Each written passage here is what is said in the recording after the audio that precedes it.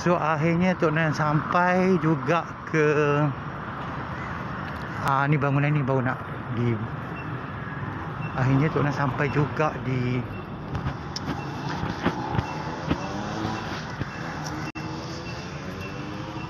sampai juga di di apa panggil? Padang Kota Lama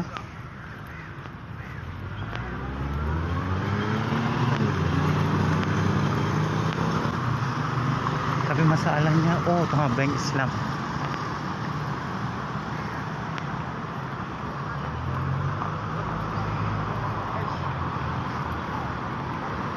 So kita dah sampai ke